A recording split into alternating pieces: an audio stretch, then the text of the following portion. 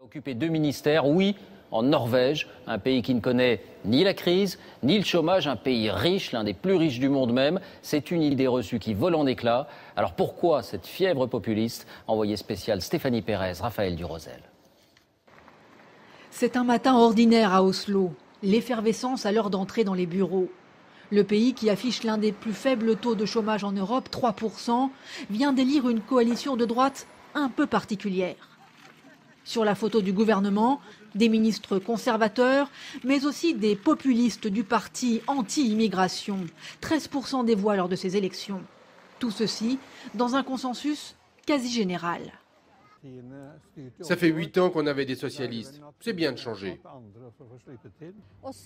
Ce n'est pas un parti d'extrême droite comme le Front National de Le Pen.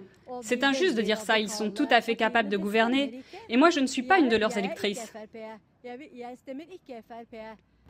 Au Parlement, la nouvelle majorité prend ses fonctions autour de la chef du gouvernement. Très sollicités, les ministres populistes, très attendus aussi. Par le passé, leur déclaration sur ce qu'ils appellent l'islamisation de la Norvège a fait polémique. Aujourd'hui, plus question de faire de vagues. Le député qui est chargé de répondre à nos questions pèse chacun de ses mots sur l'immigration. Les statistiques montrent que les immigrés sont surreprésentés en ce qui concerne le chômage, l'accès aux prestations sociales, l'échec scolaire, la criminalité. Nous ne pouvons pas créer une sous-classe de la population. Il faut les intégrer correctement avant d'en accueillir d'autres. Le pays accueille 12% d'immigrés contre 9% en France. La Norvège veut contrôler leur arrivée, même si ici l'emploi n'est pas un problème. Ici, la crise européenne n'est qu'une lointaine abstraction. Le montant du fonds souverain norvégien atteint actuellement les 600 milliards d'euros.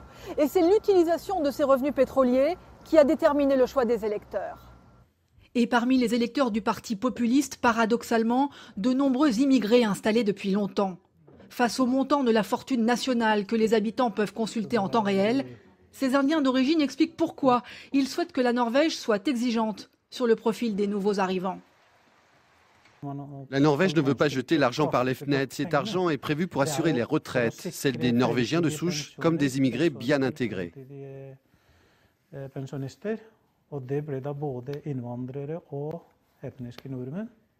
Un parti anti-immigration devenu fréquentable car il a su jouer sur les préoccupations quotidiennes des Norvégiens. Leur force, c'est qu'ils ont su polir leur image en faisant des propositions alléchantes sur les impôts, le système social, l'aide aux personnes âgées, les transports. Face aux Européens qui les accusent d'opter pour la préférence nationale, les Norvégiens l'affirment, leur priorité c'est la conservation de leur modèle social. Et la Norvège n'est pas seule dans ce cas. Bonsoir Baudonnet, François Baudonnet, vous êtes notre spécialiste des affaires européennes. Quels sont les autres pays riches d'Europe qui sont touchés par cette poussée et quels en sont les ressorts? Eh bien, David, il y a sur notre continent une demi-douzaine de pays où je dirais tout va bien, l'économie est florissante, la crise économique euh, presque inexistante, et pourtant les partis populistes y sont devenus incontournables. Alors, c'est le cas de la Norvège, on vient de le voir, mais aussi de l'Autriche, des Pays-Bas ou encore de la Finlande. Or, si le populisme se nourrit souvent du chômage, c'est vrai, là, ce n'est pas le cas. Il y a 5% seulement de sans-emploi en Autriche, 3% en Norvège, 3% également en Suisse. Autant dire le plein emploi paradoxe, donc, les partis populistes font partout plus de 15% dans les urnes. Alors pourquoi?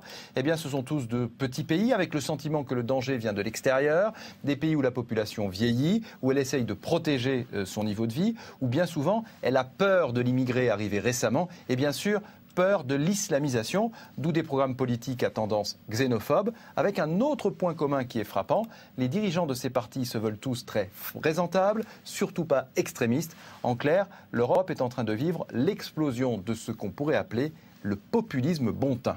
Merci François pour ces explications. On reste en Europe.